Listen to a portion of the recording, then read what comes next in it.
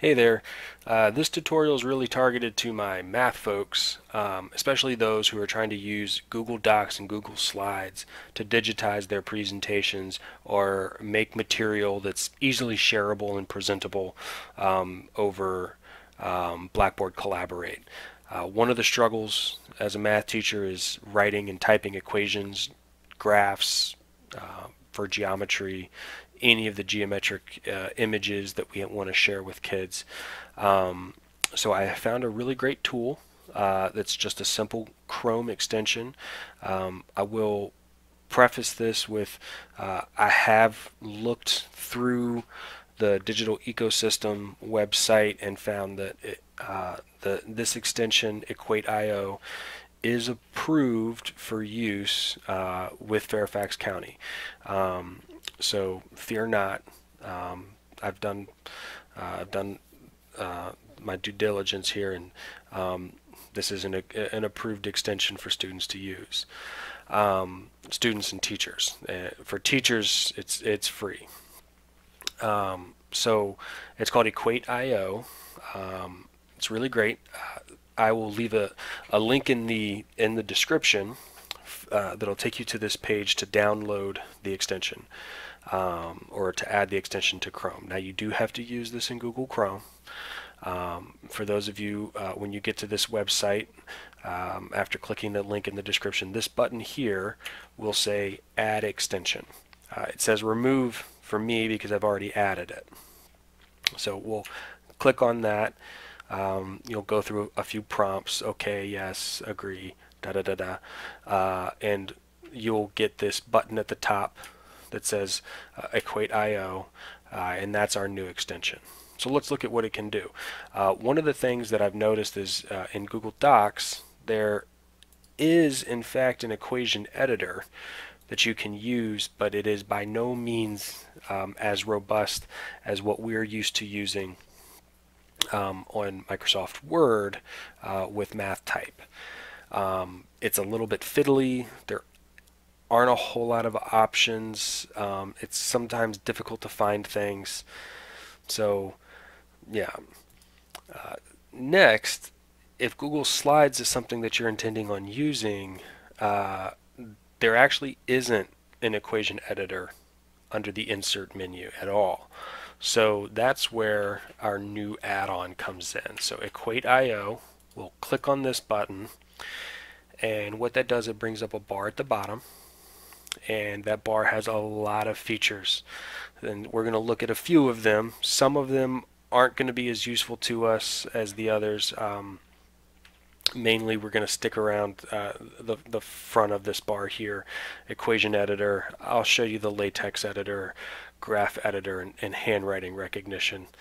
Um, so what I'm doing right now is I'm actually in the process of um, creating some uh, presentations for Algebra 2 and I'm using the, the note keys that we've made uh, to pick out a few problems uh, less than what we would typically do in a regular 90 minute class and, and, and I'm putting them in a Google slide presentation which will be easy to share with kids and easy to present through Collaborate. Uh, but this is a lot of math that I have to type um, and that's where EquatIO comes in. So in in the bar at the bottom, the first button, Equation Editor, lets us write equations. I'm on problem number 8 here, log base 8 of quantity x squared minus 1 minus log base 8 quantity 3x plus 9 is equal to 0. That's a lot of math. Um, but with EquatIO, it's as simple as just typing. When you start typing, EquatIO will um, guess at what you're, ooh, Excuse me, I didn't realize you couldn't see what I was doing. Um, let me go back. This button here is the equation editor. This bar comes up um, when you click on this button. So we're just going to start typing. So I want log base 8. Um, now base 10 is is default we just have to go back and delete the 8 or excuse me delete the 10 and, and, and add an 8 and then continue on the way. So we wanted the quantity of x squared, and I just used shift 6 or the caret to write exponents. Minus 1 minus log. Again, we want log with a base, uh, and by default it's 10, but we'll change it to 8. Uh, 3x plus 9 is equal to 0. Now, I've got my math written. I need it in my presentation. Insert math. We click that. Creates this image of the math that I just typed. I can move it around. I can put it wherever I want. I can resize it if I want to. Excuse me. Um, I'm good to go. And I can, you know, delete this and write the next step. Um, uh, you know, write the next step in my solution here. So log, you know, log base 8, um, and then I want uh, I want a fraction, so it's going to be x squared minus 1 um, divided by, what I did there was just highlight what I wanted to be on top, and then I hit the fraction bar um, you know, on my keyboard, uh, the forward slash. Uh, 3x plus 9 is uh, is equal to 0. And, you know, you, I'll finish up my work on my own. You don't need to see me do what I'm uh, do what I'm doing. Uh, you get the picture. And so I can, you know, write my steps out that way and um, adjust my slide presentation to bring these up one at a time, maybe in a different tutorial. But for now, I want to look at a few of these other features. Now, if you're familiar with LaTeX, um, LaTeX is a language that you can use to write math. Um, this program, this app lets you, uh, this extension lets you use LaTeX and it will convert it into math. So if you're more familiar with LaTeX, you can do that.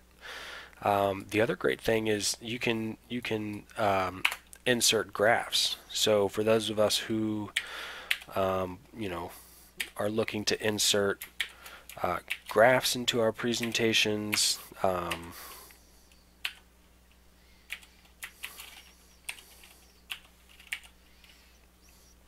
you know, there we go.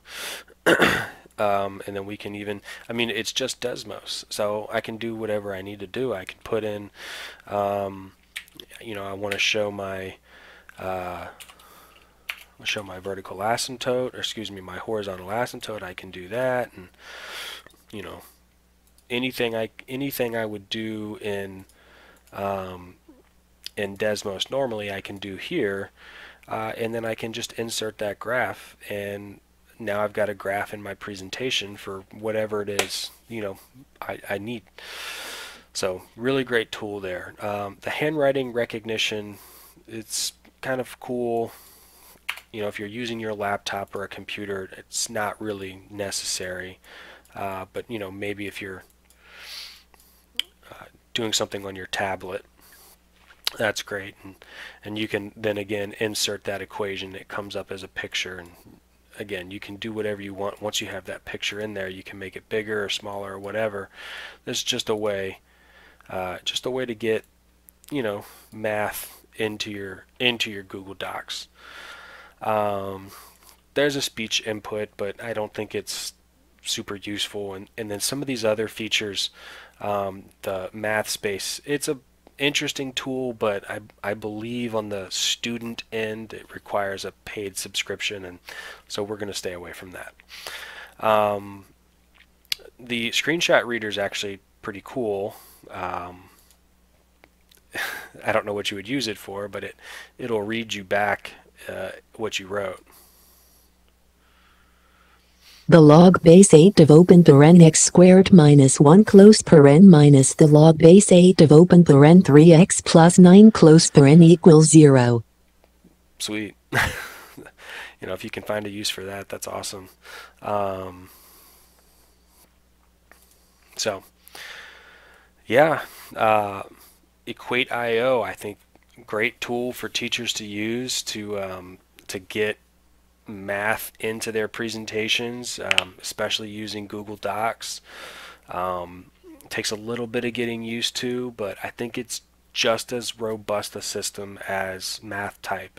And for somebody who uh, is is trying to use a lot more Google Docs um, or Google Slides or presentations on Google, uh, this is going to be uh, a really really great tool um, for those people. So.